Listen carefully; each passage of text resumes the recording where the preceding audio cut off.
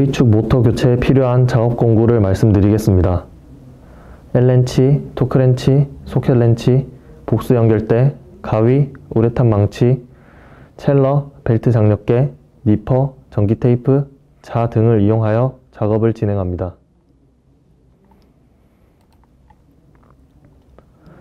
V축 모터 교체 순서에 대해 말씀드리겠습니다. 첫 번째, 기계 원점을 확인합니다. 그리고 제어기 전원을 off시킵니다. 두 번째, V축 측면 커버를 분리하여 V축 모터를 분리합니다. 세 번째, 교체할 모터를 조립합니다. 네 번째, V축 측면 커버를 닫고 제어기 전원을 투입합니다. 다섯 번째, encoder reset과 encoder offset을 해줍니다. 여섯 번째, 기계 원점을 확인합니다. 일곱 번째, 기계 원점과 상이할 경우 미세 조정하여 기계 원점을 맞춘 뒤 encoder reset과 encoder offset을 해줍니다. 이상으로 V축 모터 교체 작업이 완료되었습니다. V축 모터 분해 조립 진행하겠습니다.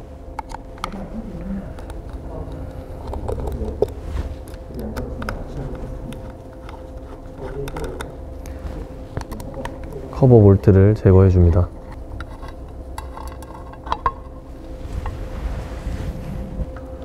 모터 고정 볼트를 분해합니다.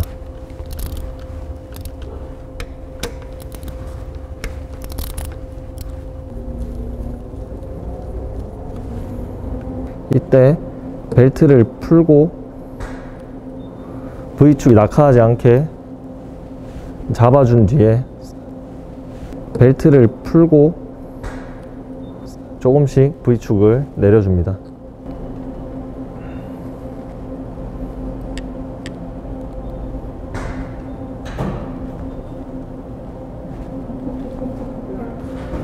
나머지 볼트를 제거해 줍니다. 안에 결선되어 있는 케이블을 분해해 줍니다.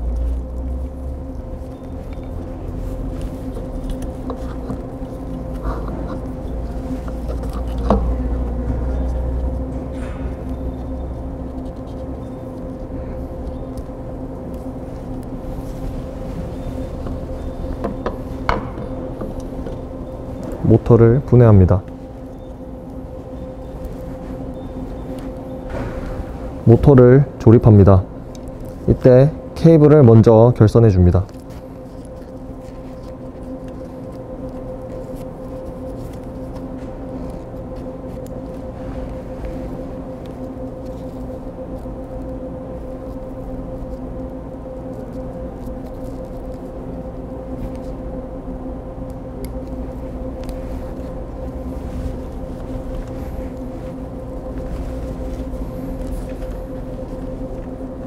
케이블을 먼저 집어넣고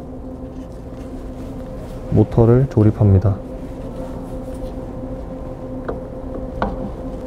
모터 고정 볼트를 가 체결해 줍니다.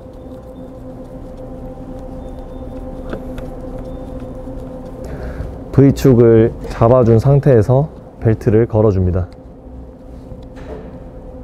이때 V축의 위치는 기계 원점 위치에 비슷하게 위치시키면 작업하기 좋습니다.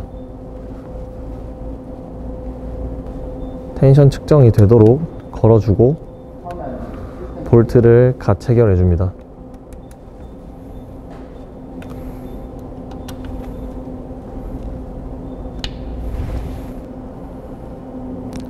텐션을 측정합니다.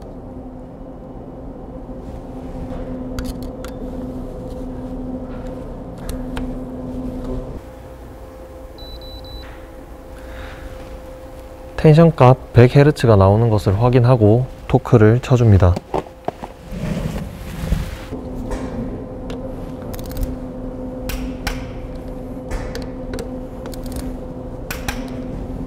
토크를 닫힌 뒤 텐션을 확인해서 변화가 있는지 한 번 더 확인해 줍니다. 이상이 없으면 아이 마킹을 실시합니다.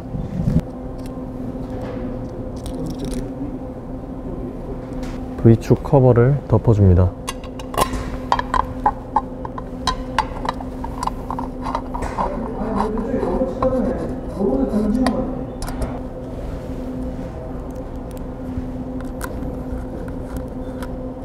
토크를 쳐줍니다.